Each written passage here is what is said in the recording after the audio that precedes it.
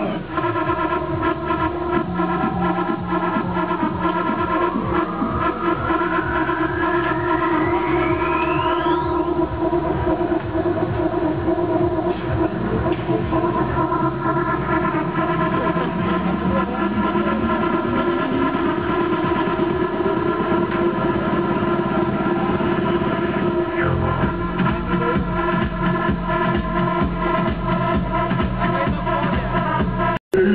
and gentlemen, the show is about to begin. Look out, here we go.